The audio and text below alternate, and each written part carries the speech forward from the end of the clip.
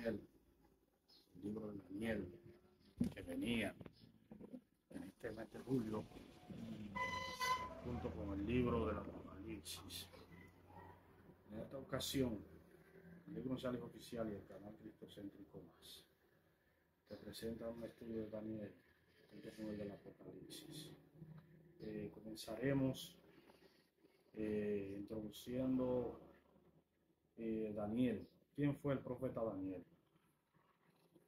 Daniel fue un, uno de los eh, cautivos de la casa de Judá eh, en el imperio babilónico, que sitió la ciudad cuando Joacín gobernaba Judá. La sitiaron y trajeron unos jóvenes junto con él, Ananías, Arías, eh, y otro joven que se llamaba Ananías, y otro joven que se llamaba eh, Misael, Misael, eh, Azarías y Daniel.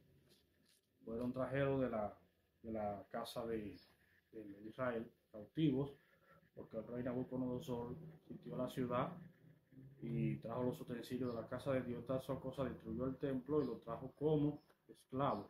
Ellos eran de los más sabios de la casa de Israel, es decir, eran de los muchachos más instruidos en la ley de, su pueblo.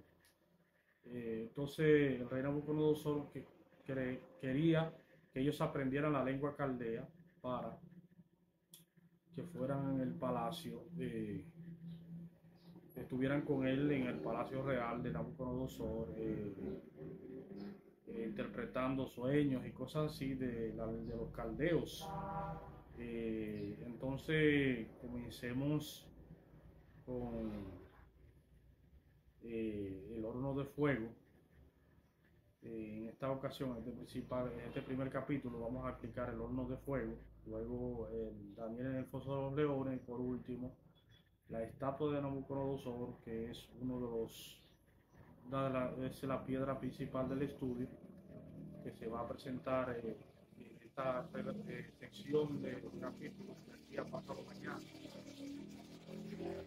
El último tema del estudio de Daniel, que lo vamos a concatenar con el Apocalipsis, eh, para que entendamos mejor la palabra de Dios y el Evangelio de Cristo. Eh, el horno de fuego fue un suceso, un, un, capítulo que sucedió con estos tres jóvenes eh, que le pusieron por nombre también eh, Sadrach, Mesat y Abednego. Eh, Sadrach, Mesat y Abednego eh, tuvieron un percance con el rey Nabucodonosor porque no querían adorar la estatua, la imagen que él hizo eh, en el reino de Babilonia. Eh, entonces, esos jóvenes eh, fueron acusados como judíos de no haber eh, de no haber acatado la orden de, de del rey Nabucodonosor, eh, porque eran leyes que no se podían abrogar como en esa época, como imperio. Ellos tenían una ley y había que cumplirla. Entonces ellos se negaron a adorar la estatua y la imagen que hizo Nabucodonosor. Eh, y fue, fueron lanzados a un horno de fuego eh, para ser quemados. Entonces, ¿qué sucedió, hermanos? Eh, como ellos adoraban el Dios de Israel, el Dios verdadero, cuando ellos fueron lanzados al horno de fuego, eh, Dios envió un, mensajero a ayudarlos y el rey, el rey vio otro, otra persona que aparte de los tres que él lanzó eran cuatro, que era el mensajero que Dios mandó a ayudarlos. Entonces ellos salieron ilesos del horno de fuego eh, sin, un, sin, un, sin oler ni a fuego, porque el Dios que ellos le servían era superior a todos los dioses que había en la tierra. Entonces, ¿qué pasó, amigos, hermanos? Para que entendamos la palabra de Dios. Eh, ese es un ejemplo de que el Dios de Israel, eh, el Dios viviente que nosotros le servimos, y predicamos en las iglesias eh, y, oramos. Es el mismo Dios de, que estuvo con ellos. El Dios no cambia, Dios no cambia, no hay otro Dios, sino es que otras personas lo diversan. Pero no hay otro Dios aparte de ese, porque hay un único Dios con sus mensajeros que nos ayuda a creer en la palabra de Dios. Lo que pasa es que en esa época eh, habían otros reyes y otro imperio y, nuestro, y nuestras y nuestras y nuestros países no existían y nuestra cultura no existía todavía para para la tierra ni para Dios. Entonces, pero es el mismo Dios a que nosotros le servimos que ayudó a Daniel a salir del foso de los leones. Es decir, no hay otro Dios, no hay uno diferente. Es el mismo para todas las personas.